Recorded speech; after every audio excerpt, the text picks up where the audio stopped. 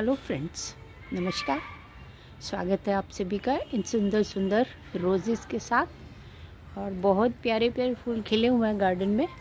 आजकल तो बाहर आई हुई है और डेली इनमें से कुछ ना कुछ जो स्पेंड हो जाते हैं, उनको हटाते भी रहते हैं।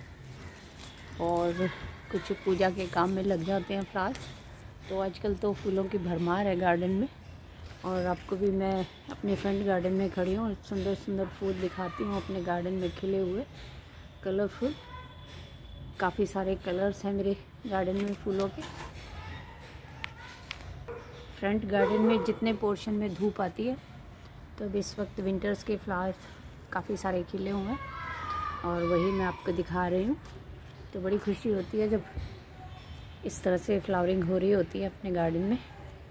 तो फ्रेंड्स आज की वीडियो में मैं आपसे बताऊँगी कि जब फरवरी मार्च में जहाँ मौसम सुहावना हो जाता है सीज़न चेंज होता है तो बहुत सारे चेंजेस भी आते हैं गार्डन में।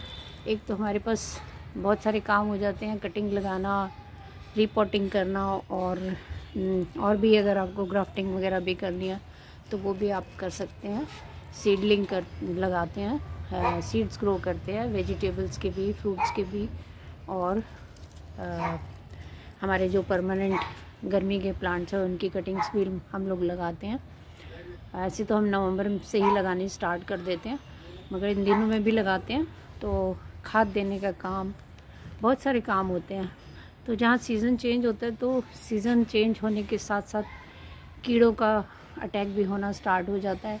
मिली बग्स हो गए और ये स्पाइडर माइट्स वगैरह, ये सब अटैक करना शुरू कर देते हैं। तो इसके लिए भी हमें गार्डन में टाइम टू टाइम स्प्रे करना पड़ता है। पेस्टिसाइड्स इंसेक्टिसाइड्स वगैरह। तो आज मैं आपसे यही शेयर करने वाली हूँ।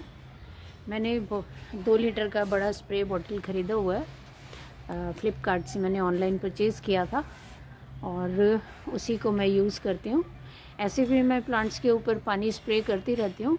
इससे पत्तियाँ भी साफ़ रहती हैं और प्लांट्स देखने में भी सुंदर लगते हैं। तो अभी जो सीज़न है, उसमें ज़रूरी है कि अपने प्लांट्स को हम इंसेक्ट्स से बचाएँ। तो इसके लिए हमें क्या करना है? ये मेरा दो लीटर का स्प्रेयर है और इसमें मैंने पानी भर लिया है। ऊपर से थोड़ा सा खाली रखना है। और फ्रेंड्स ये है नीम ऑयल तो ये मेरे पास हमेशा होते हैं और रखे रखती हूँ मैं शीशी ला के क्योंकि इनकी ज़रूरत पड़ती रहती है और मेरे गार्डन में प्लांट्स भी बहुत सारे हैं। तो आ, हम खाली नीम ऑयल पानी में डाल के स्प्रे नहीं कर सकते क्योंकि ये इसमें घुलता नहीं है ऑयल है।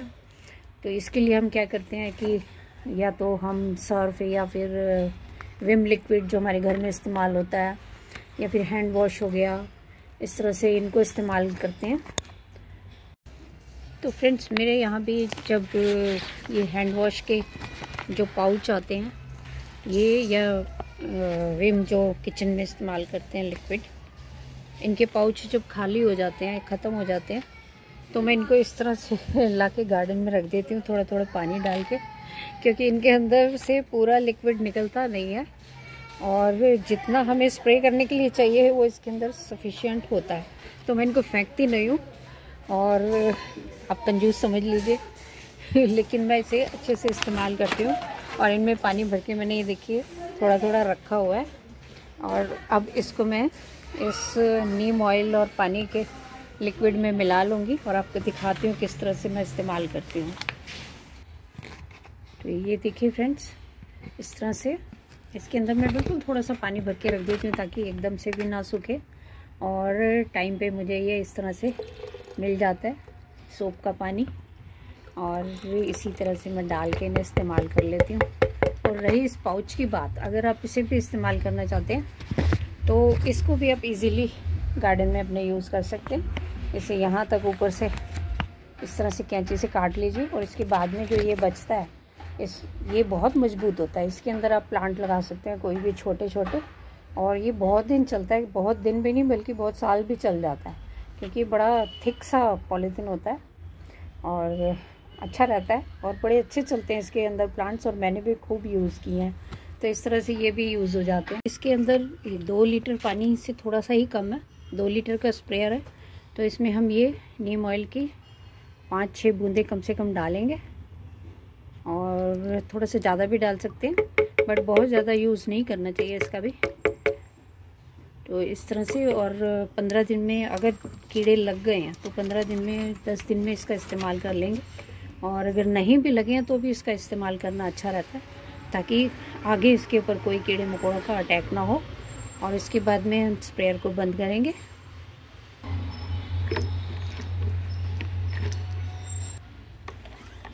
इस स्प्रेयर से प्रेशर के साथ में पानी जाता है, और बार बार इसको हिलाने डुलाने की ज़रूरत नहीं पड़ती। तो इस तरह से स्प्रे कर देंगे इससे। आप देख सकते हैं मैं किस तरह से स्प्रे करती हूँ। इसमें बहुत सारी तरीके से आप इसको कम ज़्यादा कर सकते हैं। और ये काम फ्रेंड्स या तो अर्ली मॉर्निंग में करें, या फिर शाम को करें। दोपहर में इसका यूज़ नहीं करते हैं। दोपहर में आजकल धूप भी पड़ने लग गई है। और अगर कीड़ा लगने से पहले ही इलाज कर लें तो और भी अच्छा है। और जिस तरह से इसका ये प्रेशर जैसे लो हो जाता है, फिर से इसमें प्रेशर क्रिएट करके और हम इसके ऊपर स्प्रे कर सकते हैं। तो अच्छा रहता है अपने पौधों के बचाव के लिए। ये मेरा मेन गार्डन है। और बहुत सुंदर सुंदर फूल खिले हुए हैं। और हालाँकि कीड़े मकोड़े कोई मुझे ऐसे नज़र नहीं आ रहे। गुलाब ने भी बहुत अच्छी फ्लावरिंग की है। तो लेकिन गुलाब पे बहुत जल्दी कीड़े का अटैक भी होता है। स्पाइडर माइट का अटैक बहुत जल्दी होता है फंगस लगती है। तो फ्रेंड्स इससे पहले कि कोई कीड़े मकोड़ों का अटैक हो और हमारे पौधे ख़राब हों, पहले ही स्प्रे कर रही हूँ मैं। हालाँकि मेरे गुलाब पे तो कुछ ऐसा नहीं है। लेकिन मेरे ये डेलिया के जो प्लांट्स हैं, इनमें कुछ कीड़े का अटैक मुझे दिखाई दे रहा है। इसके सड़े गले पत्तों को आज मैंने सुबह हटा दिया और मैंने देखा कि ये लीफ के अंदर देखिए, कुछ कीड़े का अटैक मुझे दिखाई दे रहा है। ये आप लीफ में देख रहे हैं, ये कीड़े का अटैक है और इससे बचाव करना बड़े ज़रूरी है। अभी तो मैं इस पर नीम ऑयल का स्प्रे कर रही हूँ। और क्योंकि मैंने देखा कि ये कलियाँ बहुत दिन से इतनी मोटी मोटी लगी हुई हैं। डेलिया की मगर ये खिल नहीं रही है, खाद भी डल चुकी है, सब कुछ है। लेकिन इस पर देखा कि कीड़ों का अटैक हो गया है। ये वजह है तो इसलिए आज मैं इस पर खूब अच्छे से इसको नहला दूँगी। और बाकी जो आसपास के प्लांट्स हैं, उन सबको भी बहुत अच्छे से स्प्रे कर रही हूँ। और ये जितनी भी देर लगेगी, अब इवनिंग में ही मैंने कर लेना है सारा काम। और बाकी के वैसे वैसे प्लांट्स सारे हेल्दी हैं। सिर्फ़ ये डेलिया के प्लांट पे ही अटैक मुझे दिखाई दिया। तो इससे पहले कि आसपास के पौधों पे भी इसका अटैक हो जाए तो मैंने आज इसका स्प्रे स्टार्ट कर दिया। और देखिए कितनी मोटी रेड कलर की रोज़ की कली लगी है। और अभी बंचेज़ में फ्लावरिंग करने वाला ही है, देखिए। मेरे सभी रोज़ीज़ अब की बारी बहुत अच्छे से फ्लावरिंग कर रहे हैं। और अभी भी मैंने वर्मी कंपोस्ट का एक बोरे निकाल के रखा है, आपको दिखाती हूँ। ये। तो ये भी मैं कल अपने इंडोर प्लांट्स में अब देने वाली हूँ। बहुत दिन से काम कर रही हूँ, लेकिन फिर भी मेरा काम कंप्लीट नहीं हो रहा। तो यही है गार्डन का काम कभी ख़त्म नहीं होता। तो मैंने सोचा, आज ये एक वीडियो शेयर करती हूँ, क्योंकि इस वक्त ये ऐसा टाइम है कि कीड़ों का अटैक होना स्वाभाविक है। जब भी मौसम चेंज होता है तो कीड़ों का अटैक होता है। तो इसके लिए ज़रूरत होती है हमें नीम ऑयल का स्प्रे करें। या फिर नीम की पत्तियों को उबाल के उनको छान के भी स्प्रे कर सकते हैं। और ज़रूरत पड़ने पे हम अपने फंजी साइड जो हमारा होता है, सांप का या कोई और फंजी साइड जो आप इस्तेमाल कर रहे हैं, उसको भी पानी में घोल के इस्तेमाल कर सकते हैं। पौधों को बचाना सेफ़ रखना तो बहुत ज़रूरी है, इतनी मेहनत करते हैं हम लोग गार्डन में।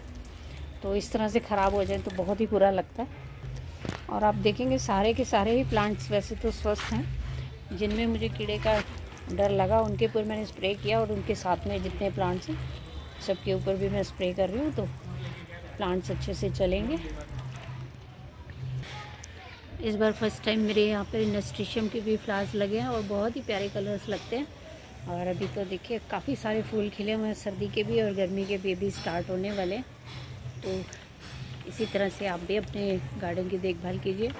और अगर फंगस लग रहा है या फिर कीड़े का अटैक हो रहा है तो उनकी ऊपर फंजीसाइड इंसेक्टिसाइड का प्रयोग कीजिए। और अगर नहीं भी हो रहा है या एक आध प्लांट के ऊपर भी हो गया है तो आसपास के सारे प्लांट्स को भी वो ख़राब कर देता है। तो इनका ध्यान रखना बड़ा ज़रूरी है। और अगर आपके पास कुछ भी नहीं है इनमें से तो आप राख का यूज़ भी कर सकते हैं। राख भी छिड़क सकते हैं। गुलाब के लिए भी, गुलाब के ऊपर भी इसका अच्छा असर रहता है। और बाकी के प्लांट्स पे भी। आप थोड़ी थोड़ी, बहुत ज़्यादा मात्रा में नहीं छाननी में लेके राख को और उसको धीरे धीरे से छिड़कते हुए अपने गार्डन में इस्तेमाल कर सकते हैं। तो इस तरह से सारे कीड़े मकोड़ों का जो अटैक होता है, उससे अपने प्लांट्स को बचाया जा सकता है। तो फ्रेंड्स आज की वीडियो में इतना ही। मिलते हैं नेक्स्ट वीडियो में।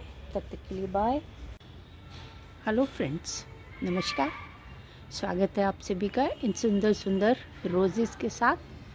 और बहुत प्यारे प्यारे फूल खिले हुए हैं गार्डन में। आजकल तो बाहर आई हुई है और डेली इनमें से कुछ ना कुछ जो स्पेंड हो जाते हैं, उनको हटाते भी रहते हैं और कुछ पूजा के काम में लग जाते हैं फ्लावर्स। तो आजकल तो फूलों की भरमार है गार्डन में और आपको भी मैं अपने फ्रंट गार्डन में खड़ी हूँ, सुंदर सुंदर फूल दिखाती हूँ अपने गार्डन में खिले हुए कलरफुल काफ़ी सारे कलर्स हैं मेरे गार्डन में फूलों के। फ्रंट गार्डन में जितने पोर्शन में धूप आती है तो अब इस वक्त विंटर्स के फ्लावर्स काफ़ी सारे खिले हुए हैं और वही मैं आपको दिखा रही हूँ। तो बड़ी खुशी होती है जब इस तरह से फ्लावरिंग हो रही होती है अपने गार्डन में। तो फ्रेंड्स, आज की वीडियो में मैं आपसे बताऊँगी कि जब फरवरी मार्च में जहाँ मौसम सुहावना हो जाता है सीज़न चेंज होता है तो बहुत सारे चेंजेस भी आते हैं गार्डन में। एक तो हमारे पास बहुत सारे काम हो जाते हैं कटिंग लगाना रिपोर्टिंग करना और हम्म, और भी अगर आपको ग्राफ्टिंग वगैरह भी करनी है तो वो भी आप कर सकते हैं। सीडलिंग कर लगाते हैं सीड्स ग्रो करते हैं वेजिटेबल्स के भी फ्रूट्स के भी और आ, हमारे जो परमानेंट गर्मी के प्लांट्स हैं उनकी कटिंग्स भी हम लोग लगाते हैं। ऐसे तो हम नवंबर से ही लगाने स्टार्ट कर देते हैं मगर इन दिनों में भी लगाते हैं तो खाद देने का काम बहुत सारे काम होते हैं। तो जहाँ सीज़न चेंज होता है तो सीज़न चेंज होने के साथ साथ कीड़ों का अटैक भी होना स्टार्ट हो जाता है। मिली बग्स हो गए और ये स्पाइडर माइट्स वगैरह, ये सब अटैक करना शुरू कर देते हैं। तो इसके लिए भी हमें गार्डन में टाइम टू टाइम स्प्रे करना पड़ता है। पेस्टिसाइड्स इंसेक्टिसाइड्स वगैरह। तो आज मैं आपसे यही शेयर करने वाली हूँ। मैंने दो लीटर का बड़ा स्प्रे बॉटल ख़रीदा हुआ है। फ़्लिपकार्ट से मैंने ऑनलाइन परचेज़ किया था और उसी को मैं यूज़ करती हूँ। ऐसे भी मैं प्लांट्स के ऊपर पानी स्प्रे करती रहती हूँ, इससे पत्तियाँ भी साफ़ रहती हैं और प्लांट्स देखने में भी सुंदर लगते हैं। तो अभी जो सीज़न है, उसमें ज़रूरी है कि अपने प्लांट्स को हम इंसेक्ट्स से बचाएँ। तो इसके लिए हमें क्या करना है? ये मेरा दो लीटर का स्प्रेयर है। और इसमें मैंने पानी भर लिया है। ऊपर से थोड़ा सा खाली रखना है। और फ्रेंड्स ये है नीम ऑयल। तो ये मेरे पास हमेशा होते हैं और रखे रखती हूँ मैं शीशी ला के क्योंकि इनकी ज़रूरत पड़ती रहती है और मेरे गार्डन में प्लांट्स भी बहुत सारे हैं।